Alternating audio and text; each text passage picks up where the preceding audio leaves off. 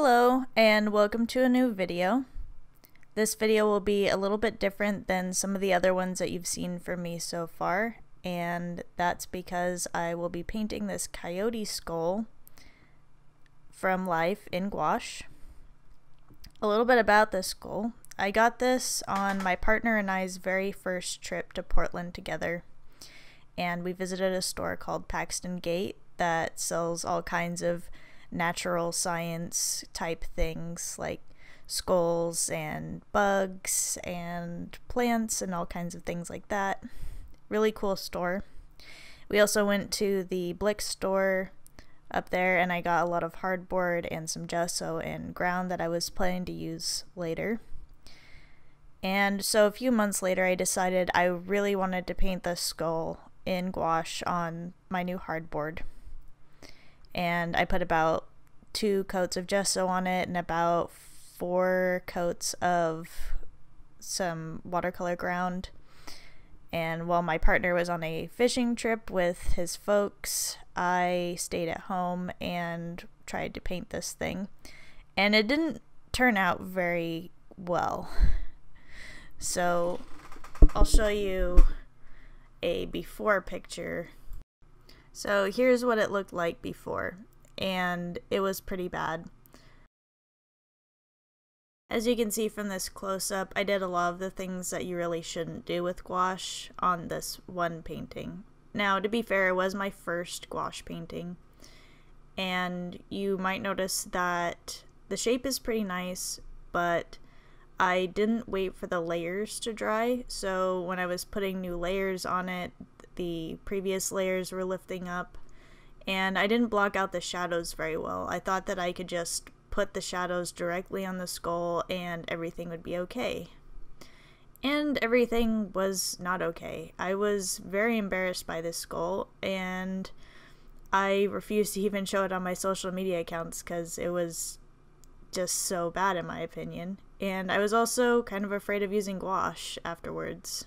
It took me almost a year before I felt confident enough using gouache entirely by itself, but for most of the time after, I only used it for highlights and just really small details, and most of the time I used watercolor and colored pencil.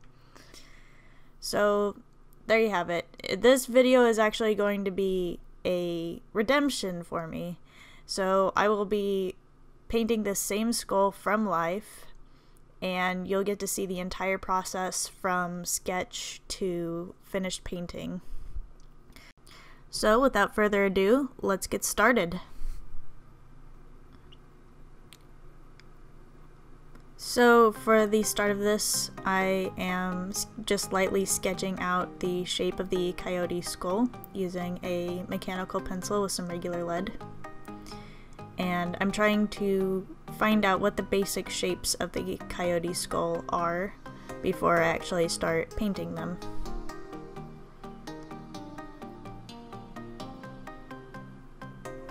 I also go over the top of the skull with a um, mechanical pencil using blue lead just to figure out exactly where the lines are. So here I am doing that. I use a lot of different lines when I'm sketching and so this helps me figure out the exact line to use when I'm painting.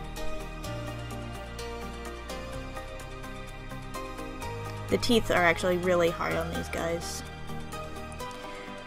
So then I seal my sketch with some matte medium and that prevents the sketch from lifting off when I'm painting over the top of it, prevents any kind of smudging.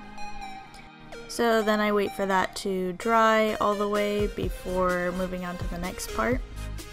And I'm mixing some ultramarine burnt sienna and yellow ochre together along with some titanium white to make a warm gray for the background. Then I'll be adding some more matte medium to that. And this will prevent any kind of lifting of the paint layers.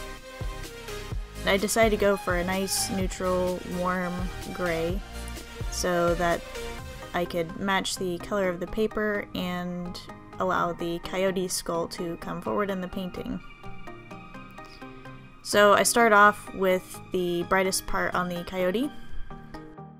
I'm doing a little bit of titanium white and yellow ochre together.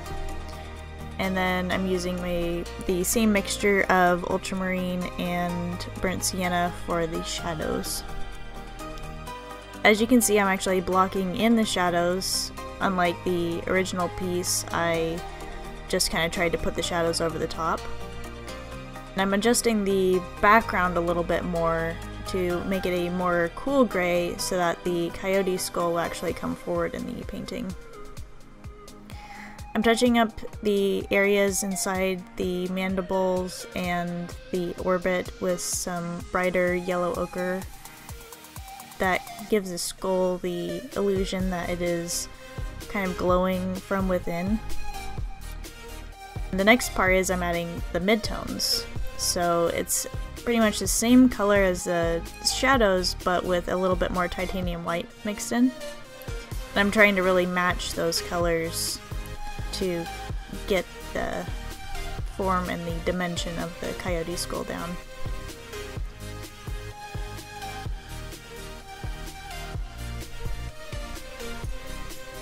that mid-tone color that I mixed up really helps blend the highlight and the shadows together without going directly over the top of them.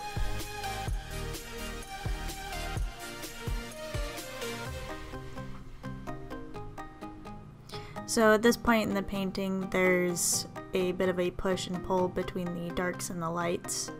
So you will notice that I'm adding some shadows in some places and then going back and adding some highlights in other places. And for the teeth, I want them to be a slightly cooler gray than the rest of the bone on the skull. And that is because the teeth are covered in, in enamel that gives them that kind of cooler, shiny color. So I'm adding a little bit more blue to those.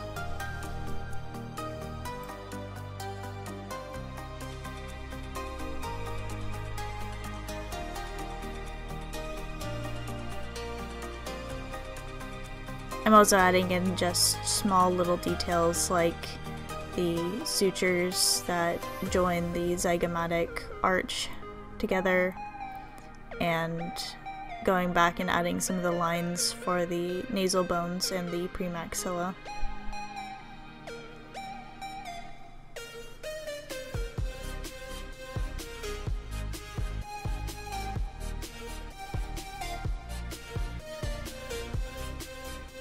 And at this point I'm just kind of going about adding more details, adding some more warmth to places that I want to come forward, adding more cool colors to places that I want to be pushed backwards,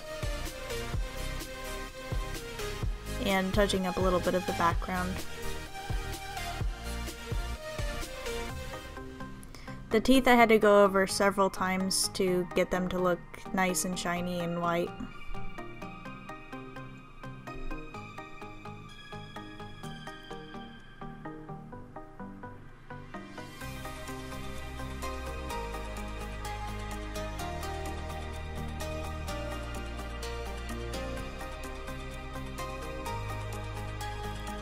At this point I start adding a little bit more warmth to the cranium and to the zygomatic arch as well as the orbit.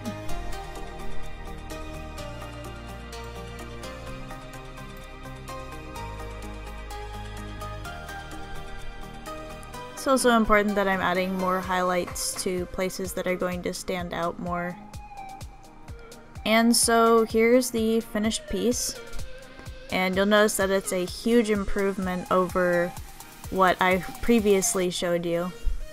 So I hope you enjoyed this video, and if you did, please give us a like, a comment, or maybe even subscribe, and I hope to see you next time.